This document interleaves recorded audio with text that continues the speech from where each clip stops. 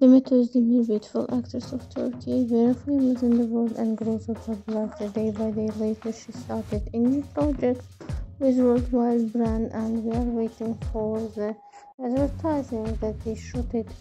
For this advertising, beautiful actress went to Milan, Italy. As well, beautiful actors have many work and new projects with worldwide marks and brands. Uh, Demet Özdemir's dramas broadcasted in many foreign countries and they are in the top of the ratings right now.